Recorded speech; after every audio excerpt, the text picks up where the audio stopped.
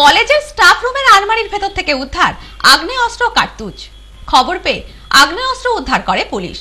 ঘটনাটি ঘটেছে গোপালনগর থানার নহাটা যোগেন্দ্রনাথ স্মৃতি মহাবিদ্যালয়ে।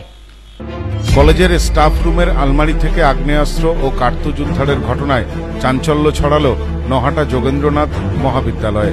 শনিবার দুপুরে কলেজের স্টাফ রুমের একটি আলমারি থেকে একটি দেশি বন্দুক ও চার রাউন্ড কার্তুজ উদ্ধার হয়।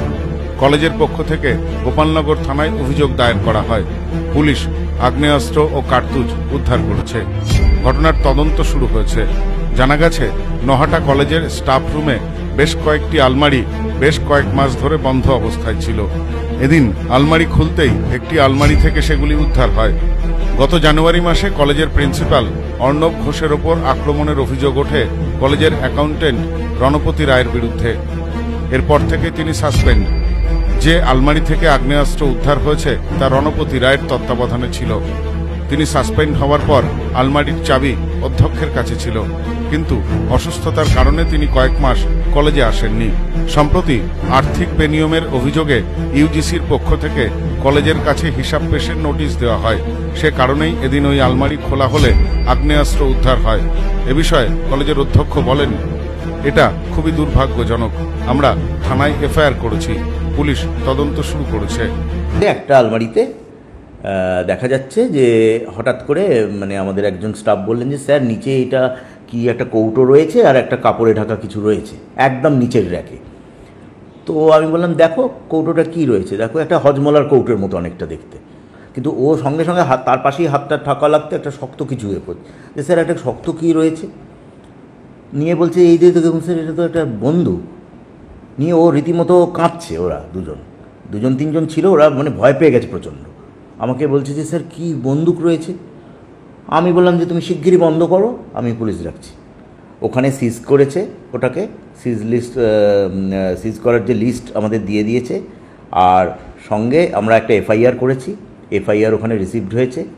আজকে আমার যেটা দেখার পর সন্দেহ হচ্ছে যে, আমার মনে হচ্ছে উনি তার মানে এটা জানতেন, উনি তো তখন পুলিশ কাস্টডিতে উনি তার মানে এটা লোক লাগিয়ে ওইটাকে সরানোর জন্য, ওনার তো মাথায় আছে যে নিজে রেখেছেন। আমার ধারণা এটা। যাকে হয়তো পাঠিয়েছিলেন, সে আলমারি বুঝতে পারেনি। অন্য সমস্ত ঘাঁটাঘাঁটি করেছে, যে জায়গাটায় অ্যাক্সেস পাইনি সেই জায়গাটায় তারা অক্ষত থেকে গেছে। আমি কিন্তু পরবর্তীকালে আর একটা এফআইআর করব। অলরেডি আমি কিছু ভাউচার পেয়েছি, যেখানে আমার ফলস সিগনেচার দেয়া। ওনার সাইন রয়েছে আর আমার ফলস সিগনেচার এরকম করে প্রায় দু লক্ষ দশ হাজারের ভাউচার পাওয়া গেছে। যেগুলো অনেক দিন ধরে বই পাওয়া যাচ্ছে না আর উনি আবার নিজেই আমাকে বলেছেন দু লক্ষ দু- দু লক্ষ দশ হাজারের বইয়ের কোনো হদিশ নেই। এটা আপনারা জানেন যে অনেক দিন ধরে একটা বই নিয়েও হইচই হচ্ছিল। কলেজে থাকা মানে সে কলেজ এমনিই কলেজ মানে এই ধরনের লোকেদের জন্যই কিন্তু শেষ হতে চলেছে। বিষয়টি নিয়ে নিন্দা করেছেন স্থানীয় পঞ্চায়েত প্রধান তপন হাজরা। তিনি বলেন শিক্ষা প্রতিষ্ঠানে এটা কখনোই কাম্য নয়। দোষীকে দ্রুত গ্রেপ্তার করা হোক। এটা খুব নিন্দনীয় এবং খুব দুঃখজনক ঘটনা।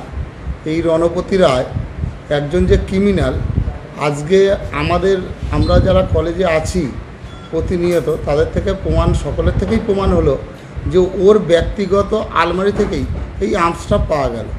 এই ইতিহাসে একটা নজিরবিহীন ঘটনা যে শিক্ষা প্রতিষ্ঠানে একটা পিস্তল এবং কিছু কাতুস ওই আলমারির মধ্যে রেখে দিয়েছে। কিনা শিক্ষামূলক বিনোদন আলোচনা হবে, সেখানে আমসের গল্প আর আমার না ভারতবর্ষে মনে হয় এরকম কোনো নজিরই কোথাও নেই। বিভিন্ন সময় এই রণপতি রায় মানুষকে এবং প্রিন্সিপালকে বিভ্রান্তি করে। বিষয়টি নিয়ে নিন্দা করেছেন বনগা দক্ষিণের বিজেপি বিধায়ক স্বপন মজুমদার।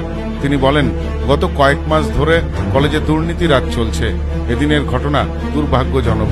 ঘটনার তদন্ত প্রয়োজন। এটা খুবই নিন্দনীয়।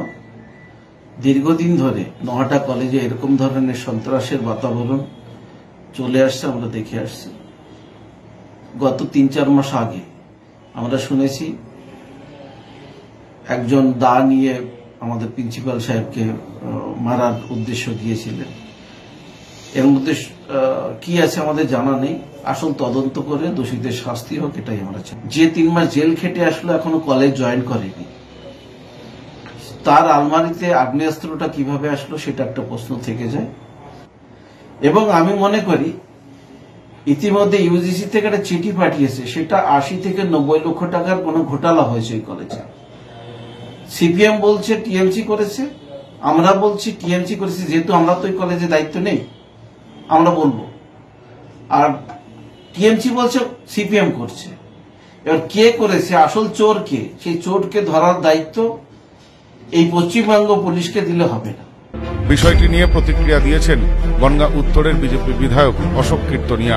তিনি বলেন, ওই গোপালনগর ওই নটা কলেজেই প্রফেসরকে অর্থাৎ অধ্যক্ষ যিনি, তাকে মারধর করেছিলেন। ওই কলেজেরই একজন স্টাফ এখন আবার কি দেখলাম, সেই স্টাফ রুম থেকে গেল, পাওয়া গেল। তার মানে আমরা বুঝতে পারছি, বর্তমানে পশ্চিমবঙ্গের শিক্ষা ব্যবস্থাটা কোথায় চলে গিয়েছে। সোম দাস ও সব্যসাচী ভট্টাচার্যের রিপোর্ট নিউজ নোম্যান্সল্যান্ড গোপালনগর।